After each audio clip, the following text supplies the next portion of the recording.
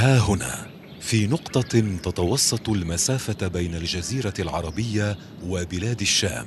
هنا في مدينة عرعر حيث التاريخ عبق وبصمات وأثر شجي وحيث للمعاصرة والحداثة والتطور أحاديث وأدوار. سيقوم بعون الله حي المباركية. ليكون واحة طمأنينة وسلام. في بيئة هي في الأصل نموذج للطمأنينة والسلام لهدوء العيش وصفائه لسلاسة جريان الحياة وتشع في الأجواء ومن كل جانب إرادة طموحة للأفضل والأرقى. باشرت الأولى العمل والبناء. تمهد وتسوي وتعد ميدانا فسيحا لحي مبارك اسما وتيمنا ورجاء مستقبليا.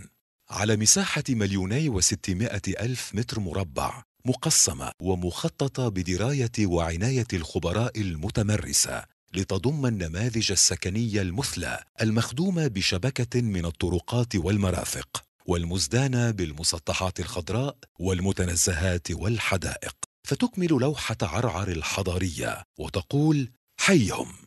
وجوها طيبة ترتشف قهوة الطيبين مزاجا من كرم وأصالة. وتحنو على البراعم فتقدم لها متعة الحاضر وأمان تدرجها ونموها في محيط متناغم مع المستقبل. تمرح تحت كل شمس فيه زهرات ندية. فاهلا ومرحبا بالجيرة الطيبة في كنف المستقبل الواعد الجميل. وحيهم.